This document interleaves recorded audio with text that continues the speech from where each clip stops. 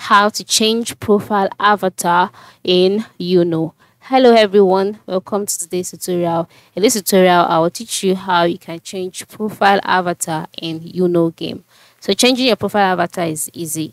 First step is to launch the Uno application on your device. So on the page, you can see number of coins that you've got.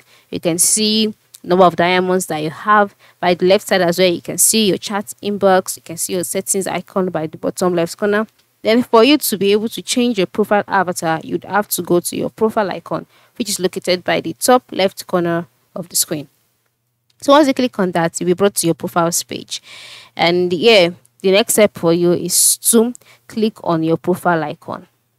So once you've done that you will see the profile pictures that is available to you.